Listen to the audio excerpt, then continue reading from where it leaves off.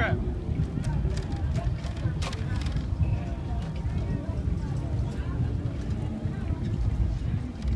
And Bear. You'll know Bear when you see him.